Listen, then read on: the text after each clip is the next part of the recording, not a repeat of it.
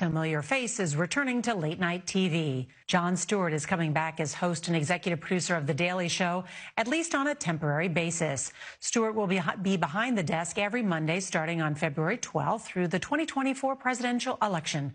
Comedy Central said a rotating lineup of correspondents will sit in for Stewart during the rest of the week. Comedy Central is owned by Paramount Global, the parent company of CBS News. Welcome back, Jon.